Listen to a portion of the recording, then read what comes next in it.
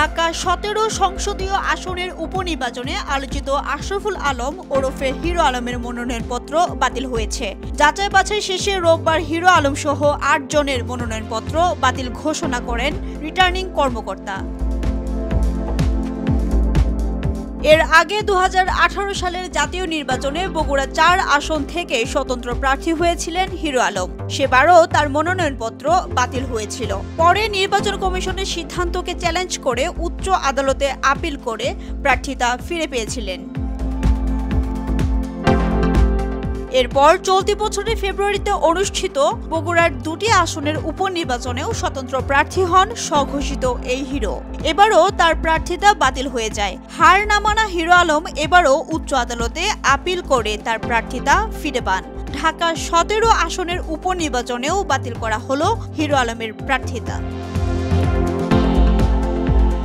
জানা গেছে যে কোনো সংসদীয় আসনে নির্বাচন করতে হলে এক শতাংশ ভোটারের নাম ও স্বাক্ষর প্রয়োজন হয়। কিন্তু এই এক শতাংশ ভোটার ও তাদের স্বাক্ষর নিতে পারেননি হিরো আলম।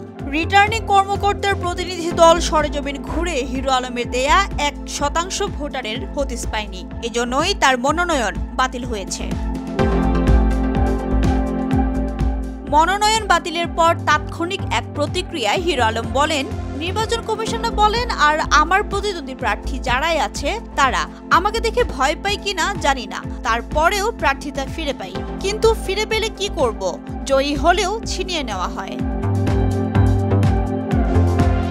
এদিকে রিটার্নিং কর্মকর্তা মোহাম্মদ মুনির হোসেন খান জানিয়েছেন, ঢাকা সতেরো উপনির্বাচনে পনেরো জন মনোনয়নপত্র জমা দিয়েছিলেন। এর মধ্যে বাছাইয়ে সাত জনের মনোনয়নপত্র বৈধ হয়েছে। বাকি আট জনের মনোনয়নপত্র বাতিল হয়েছে। তবে যাদের মনোনয়ন বাতিল হয়েছে, তারা চাইলে নির্বাচন কমিশনে আপিল করতে পারবেন। সংসদ সদস্য, বীর মুক্তিযোদ্ধা ও চিত্রনায়ক ফারুকের প্রয়াণে শূন্য হওয়া ঢাকা সতেরো আসনে ভোট গ্রহণ হবে সতেরোই জুলাই। এই ভোট হবে কাগজের ব্যালটে। নির্বাচন কমিশনের তফসিল অনুযায়ী মনোনয়নপত্র দাখিলের শেষ সময় ছিল পনেরোই জুন। মনোনয়নপত্র বাছাই আঠারোই জুন। প্রার্থিতা প্রত্যাহারের শেষ সময় পঁচিশে জুন।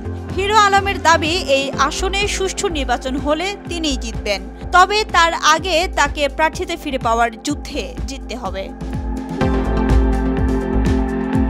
একাদশ জাতীয় সংসদের প্রথম অধিবেশন বসে দু হাজার উনিশ সালের ত্রিশ জানুয়ারি। সংবিধান অনুযায়ী সেই সময় ধরে পরবর্তী পাঁচ বছর মেয়াদ ধরলে দ্বাদশ জাতীয় সংসদ নির্বাচন দু হাজার চব্বিশ সালের উনত্রিশ জানুয়ারির মধ্যে অনুষ্ঠানের সাংবিধানিক বাধ্যবাধকতা রয়েছে। অর্থাৎ ঢাকা সতেরো আসনে যিনি নির্বাচিত হবেন, তিনি পাঁচ মাসের মতো সময়ের জন্য সংসদ সদস্য হবেন। ಶತಕಲು ನ್ಯೂಸ್